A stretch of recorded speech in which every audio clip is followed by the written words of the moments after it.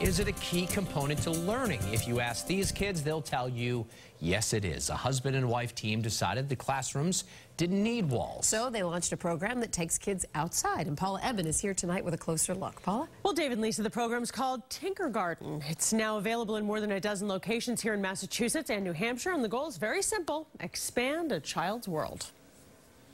Come to Tinker Garden. These kids aren't just playing outside, they're learning. First of all, it's problem solving, it's creative, they're using their imagination. These preschoolers are learning how birds build their nests.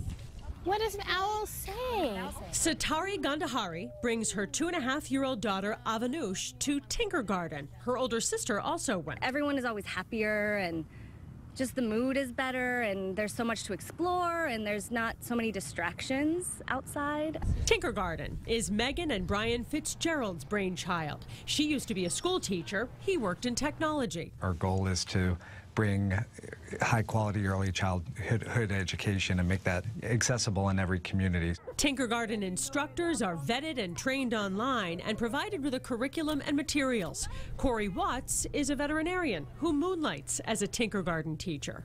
So I'm a leader, the parents are guides, the children are explorers.